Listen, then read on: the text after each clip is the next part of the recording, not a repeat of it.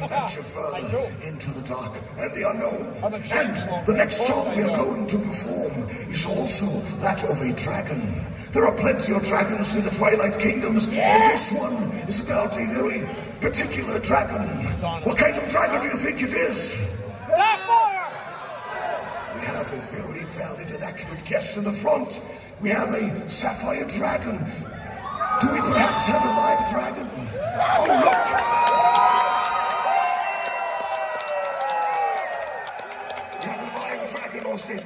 Don't be alarmed, he just ate, so you are safe. Now, your quest for this next song is to make this sapphire dragon soar across the battlefield. And by the time the song is over, we wish that you return the dragon to the stage so that we may return it to its cave and its well-deserved rest. So now, my friends, are you ready?